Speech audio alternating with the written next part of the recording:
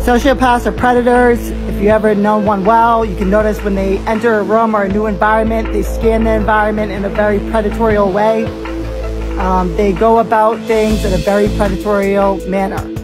They will hunt down their victims or their targets. They will first survey their environment and they will look for someone that would be a good target who has what they want, whether that be money, power, or an attractive person they want to sleep with. And they will basically prey on them.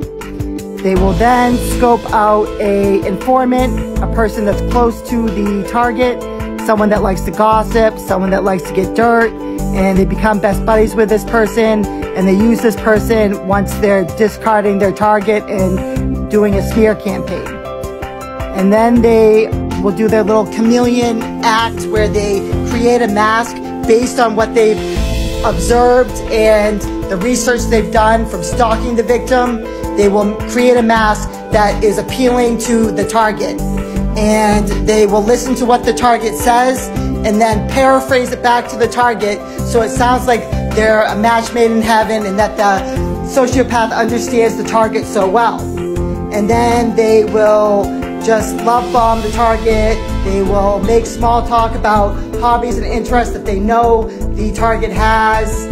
And then they will move on to um, courting and doing more love bombing of the target. And the sociopath will stalk the target, magically appear where the target is. They will become friends with the same people. They will just be all up in their mix all of a sudden. And then once they have the victim tied down, they'll start to isolate the victim. They will use the data gathered from the informant and isolate the target from their coworkers, friends, family, everything.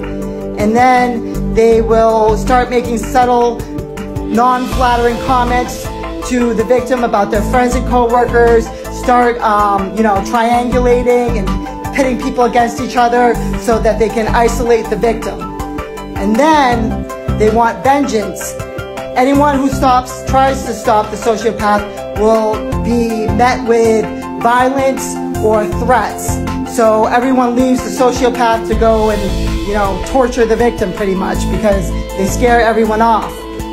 And then projection comes in where the sociopath secretly turns on the victim to the friends and starts um, talking behind the back of the victim and smearing the victim.